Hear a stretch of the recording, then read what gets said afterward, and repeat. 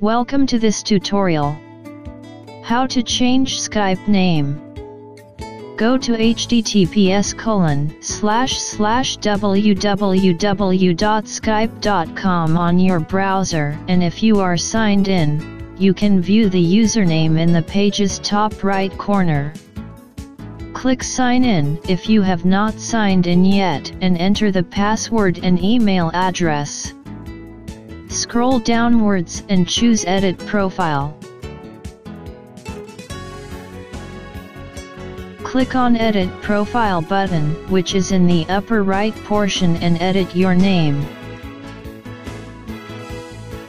Choose Save which is the green button in the top right portion of the page. This ensures that your name is changed and the next time you log into Skype, you will be able to view the same. Thank you for watching this video, subscribe to us.